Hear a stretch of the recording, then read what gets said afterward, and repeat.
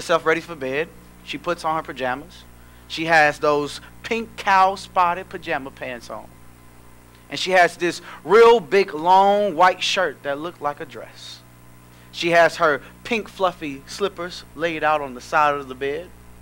And on the nightstand, she has her phone volume turned all the way up, her keys, and her wallet. She would do this every weekend for five years straight. One particular night, her son will call. She'll roll over, she'll answer the phone, and at that moment, her son will say, Mom, my car is acting up. It broke down. Can you come help? She rolls out of bed. She slides on those pink fluffy slippers of hers. She grabs everything off her nightstand and she darts out the door, rushes down the street to get her son, jumps his car. And as she leaves him, she says, There you go. He'll say, Mom, thank you. She'll say to him, No thanks needed. I stay ready. Though we may not know the time, we should be ready at all times. Though we may not know the time, we should be ready at all time. Are y'all still awake with me tonight? I hope y'all doing good. Y'all doing good? Well, I'm excited because uh, the ba- the worst thing you can do is have some people preach before you preach. Because that makes it bad for those who sitting down because then you just got a bunch of people who just love to preach, just building off of each other. So now we had Brother Ryan, we had Brother Turnquest, who I call Brother TQ. But keep that on low. Don't tell them that. I call him Brother TQ. Now they preach. Now I got I have to contain some of my energy back because I'm excited. You know, sometimes it gets hard when you try to uh, communicate God's word when you're at a uh, when you're in a position where you're excited because you got to hold a lot back because you don't want to ah. But that's how I feel. That's how I feel. And so I just want to thank you, brothers, for speaking and uh, presenting God's word to us. This is actually my last time speaking to you guys on this trip uh, that my wife and I are down here. We'll be here Sunday. Uh, Bible class starts at 10 o'clock. Be here. If not, I will leave judging you. I'm just playing. I won't. I really won't. I really won't. but please do come. Uh, but this is our, my last time speaking, and I'm so thankful. And I'm so excited to jump off this new year with you guys. We have really built a family with, uh, with you guys down here, and we're excited about that.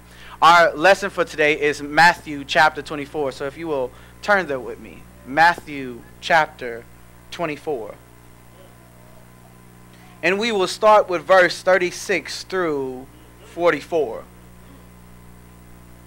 Now, Brother Ron keep doing that, he going to make me preach some more, so y'all, y'all better shush him now, or else. we may be here until the next New Year's.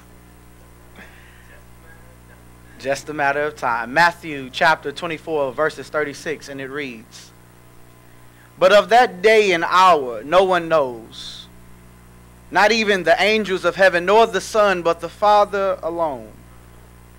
For the coming of the Son of Man will be like the days of Noah, for as in those days before the flood, they were eating and drinking, marrying and giving in marriage, until the day that Noah entered the ark.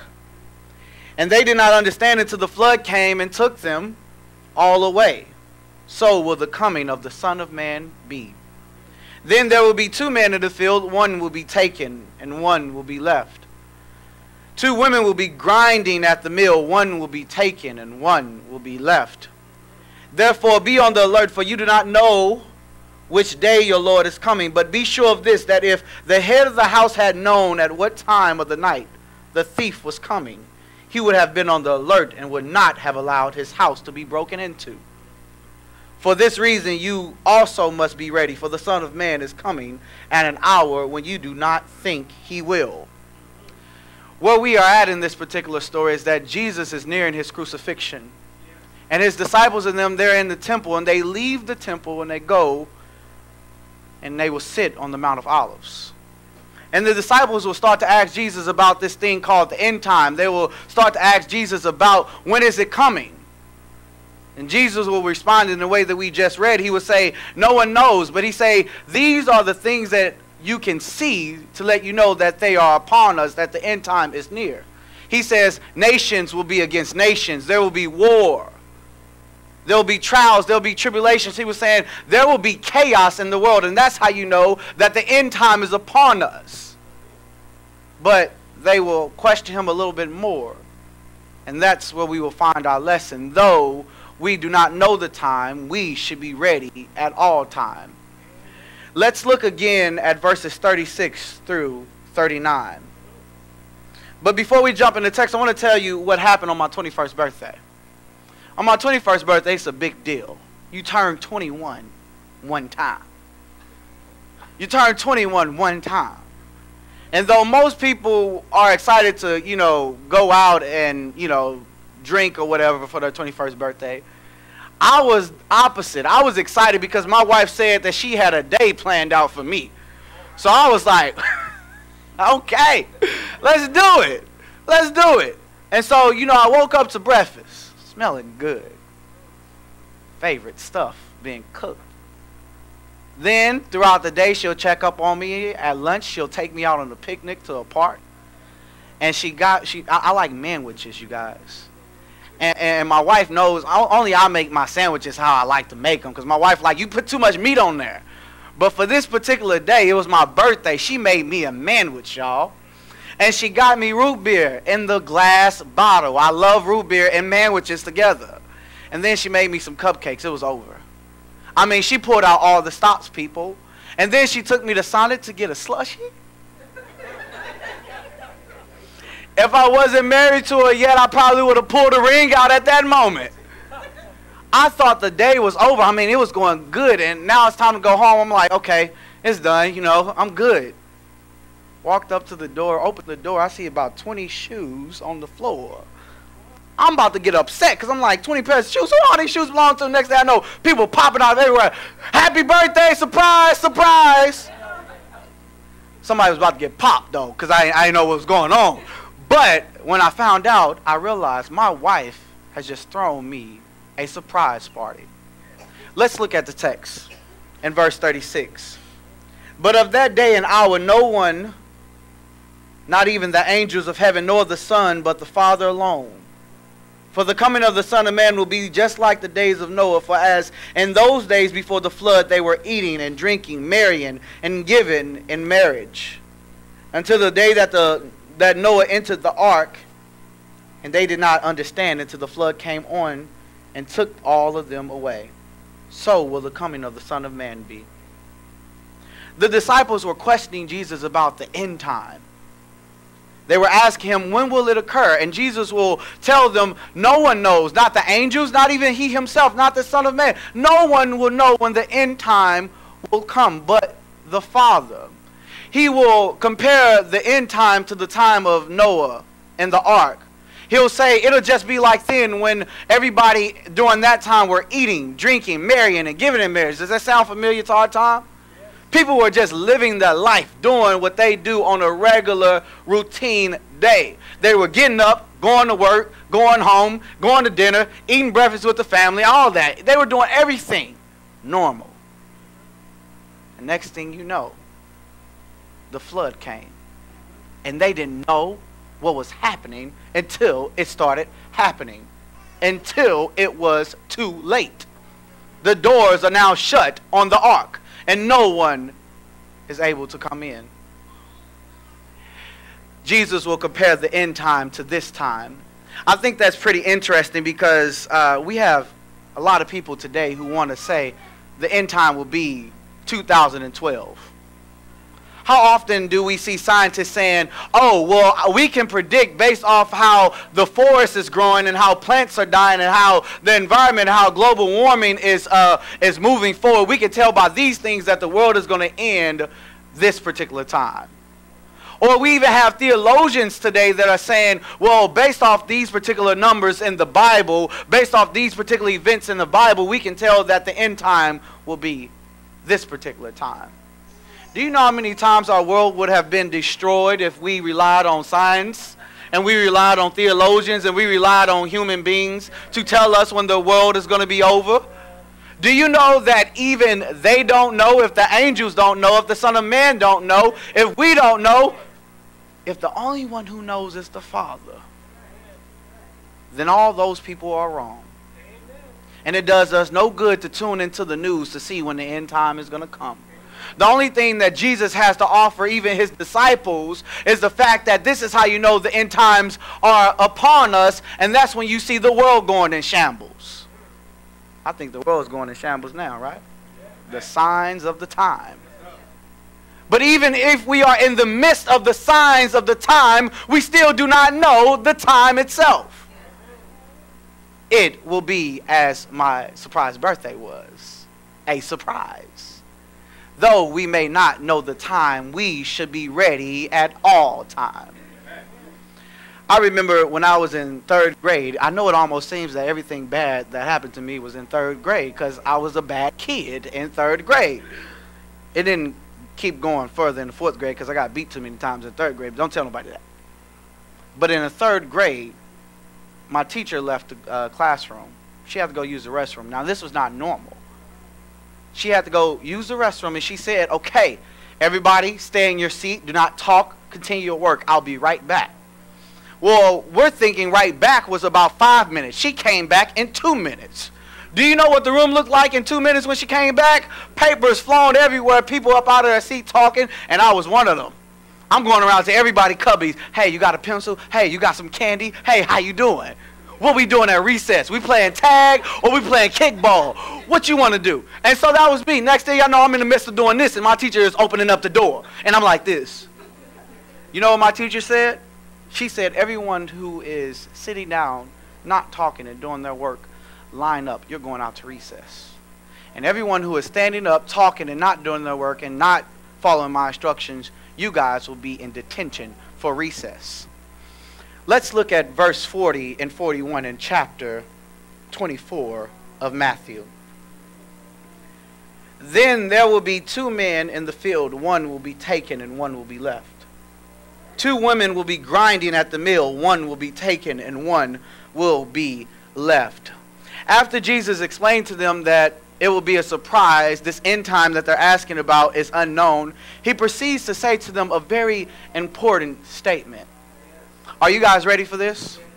Because this, this is a little heavy right here. This is, this is actually this is actually opposite of what the world tells us.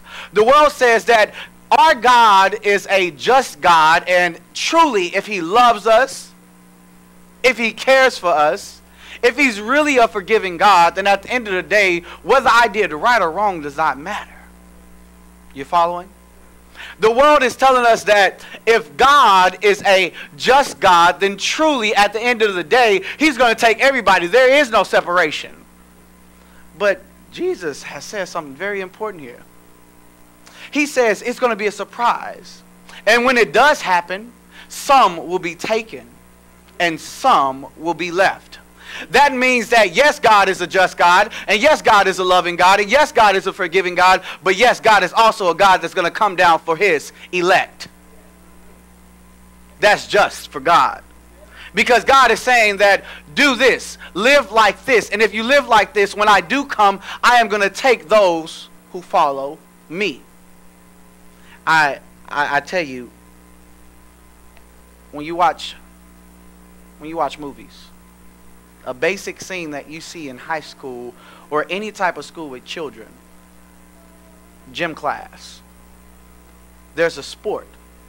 And you have two teams and they got to pick all the people off the wall. And everybody's making their selection i want this person. I want this person. You ever notice how most of the time in that same scenario there's always probably like two people that don't, don't nobody want? They're just still on the wall? If you're one of those persons if you ever been one of those persons i'm not making fun of you and I'm sorry that you were. I will always pick you, all right? I'm not that person. But what I want you to understand is from that scenario, that person that is left on the wall, that is a lonely spot to be in. That is a sad and degrading spot. That is the spot that breeds pain, that breeds hurt. Only thing that is left on that wall is you and your sorrow. Do you know that's exactly the same situation that we're going to be in when Jesus comes back? He says some will be taken and some will be left. Some will be left on that wall, sitting in their pain, sitting in their sorrow. I want to be picked. I want to go to God. But what's so interesting is that the Bible tells us the only way to God, and I spoke about this on Sunday, the only way to God is through who? Jesus Christ. Jesus Christ, Jesus is saying some will be taken, some will be left. Let's break this down. Let's, let's break this down. Because there are some people who don't believe in the idea of heaven and hell. There are some people who do not believe in the idea of heaven and hell. But what's so interesting is that let's let's set up the equation like this. Even if you do away, which I say don't, but even if you do for those people who don't believe in heaven and hell, even if you do away with this terminology heaven and hell, let's just do deal with God and not with God. If life and light is found with God, what's the opposite of that? Darkness and death. If life and light is found with God, then what is found outside of God?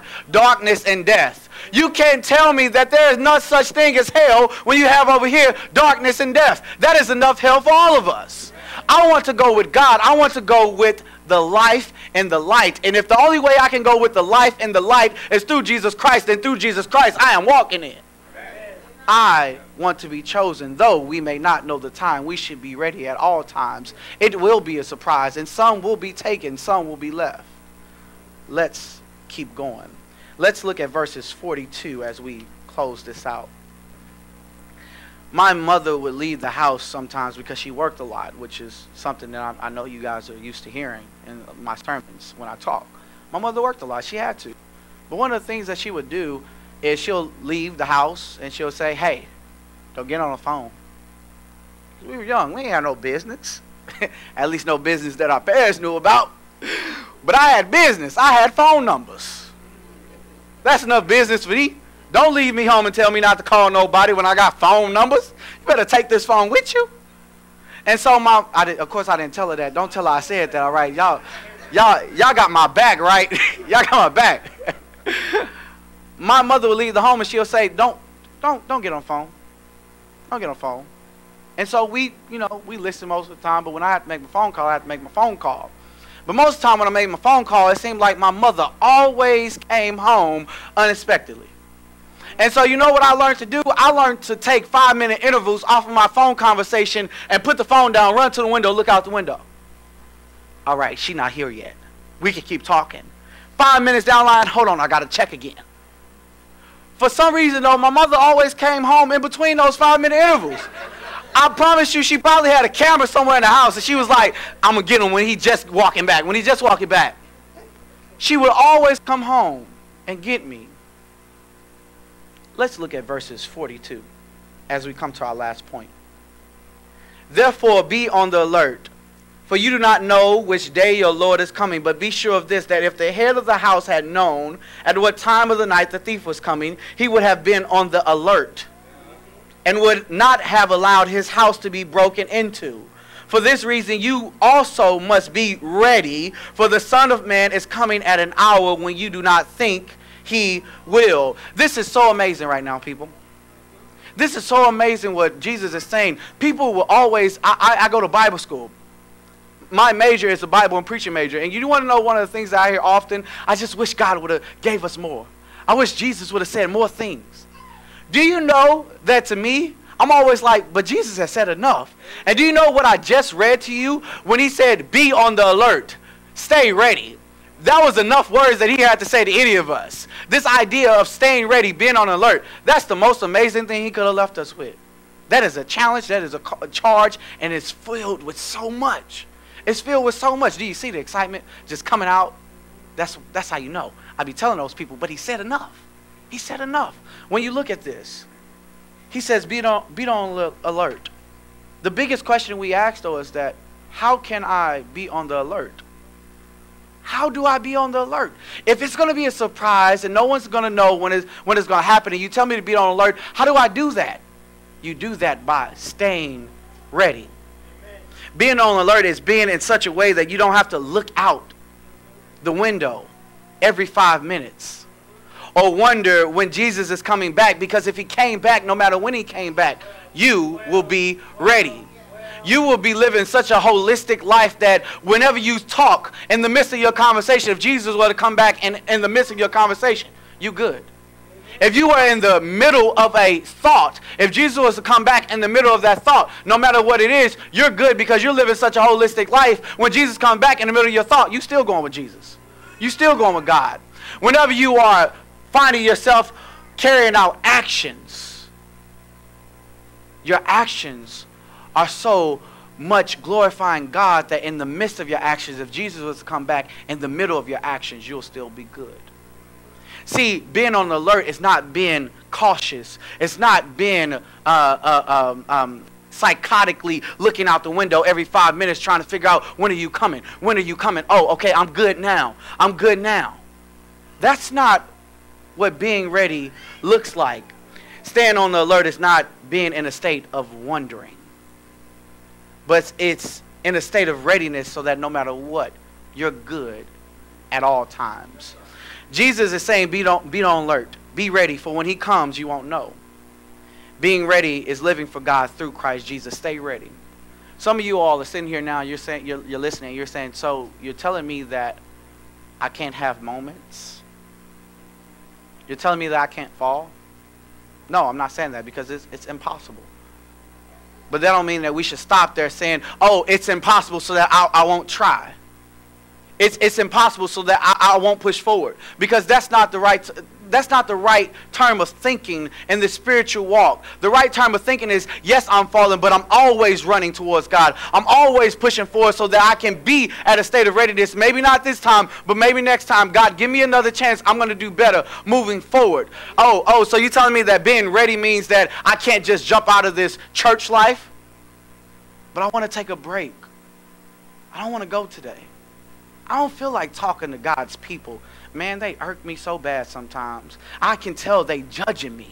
I can tell they looking at my life and they judging me. I don't feel like going today. Is uh, if you did not go and Jesus came back, would you be confident to stand before them and say, I'm ready?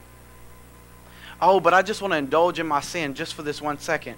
I just want to get drunk this one night and then tomorrow I'll be okay. I just want to gossip in this one conversation and then I'll be okay. I just want to eat this one last donut and then I'll be okay. I know it's gluttony, but I just, I, I, I just one last one. Oh, I, I I just want to be puffed up. Let me feel good about myself. Let me feel as if I am okay. Brother Turnquest is saying we can't do nothing without God. What if I just want to take a second and say I can do something without God, though? Are you staying in the state of readiness? Or are you tiptoeing through the blinds trying to see when Jesus is going to pull up and catch you on the phone? That's, that's the real issue. Though we may not know the time, we should be ready at all time. Don't you see how that mother, for five years straight, she'll wear her cow spotted pajama pants her white t-shirt that was so big that it looked like a dress on her. She would have her pink fluffy slippers on the side of the bed. And on her nightstand, she'll have her phone, her keys, and her wallet. One night, her son will call her and say, Mom, I need you to come help me with my car. She jumps out of the bed. She slides on her pink fluffy slippers. She grabs everything off her nightstand. She darts out the door, drives to her son, jumps his car, and as she walks off, he says, Mom, thank you. She say, no thanks needed. I stay ready. Do you know that mother was not staying up late at night, waking up every five minutes to check her phone? She put herself in a position that whenever her phone rang, she was able to get up just like that she was ready to go just like that. Why? Because her son on weekends, she'll allow him to go out late at night. And she knew that something could possibly happen. She didn't know when, she didn't know what, but she knew something could happen. And so, because of the thought of it could happen, she stayed with her clothes on. She stayed with her shoes on the side of the bed. She stayed with her keys on the nightstand. She stayed with her phone volume all the way up so that if she if she received the call from her son, she'll be ready to go. She wasn't checking. She wasn't calling him every five minutes. Are you okay? No. She was ready. We need to be like that mother and have our slippers on the side of the bed and have our phones and our keys and, and, and our volume turned all the way up on our phone on the nightstand. We need to be like that so that whenever Jesus comes back, no, we're not looking out the window. No, we're not calling every five, ten minutes, Jesus, when you're coming back. But we are in a state of readiness so much that if it was right now, we will be the one taken because we will be ready. Some of you all in here are not ready yet.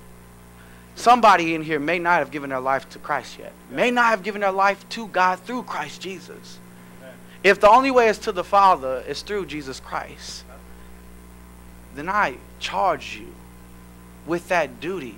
If you are saying to yourself, I want to live for God, I want to give my life to God, and if the only way to do that is through Jesus Christ, then I charge you to give your life to God through Christ Jesus. All you have to do is believe that Jesus Christ is the Son of God. This whole year, you may have been walking, saying to yourself, I believe, but I'm not ready to give up my life. I believe, but but my, my sin just feels so good. I don't want to find myself in those convictions saying I can't do that anymore. If you are that person, then I say, put it behind you and walk into this new year with a new life with God through Jesus Christ. Here, believe this message repent, confess, and then you will be baptized. And when you come up out that water, you will be ready with your slippers on the side of the bed. And for those of you saying, but I have my slippers, but I'm still just waking up calling every 10 minutes. I'm still indulging in my sin every now and then. I'm still want to step back out of my Christian walk. I still want to step back out of my spiritual duties every now and then. If you are that person, you're saying, I want to become ready again, then how you do that is through prayer, collective prayer. I need prayer. Pray for me, people because I step in and out sometimes. But I need prayer that I stay ready, especially going into this new year. The devil is active. The devil is actively at your door, pouncing, knocking it down, trying to take out the bolts. I feel it, so I know you feel it. We're all in this together. If you need prayer, if you need anything, if you're ready to give your life to God, if you are ready to, to resubmit and reconnect back with God, why don't you come as we stand and sing?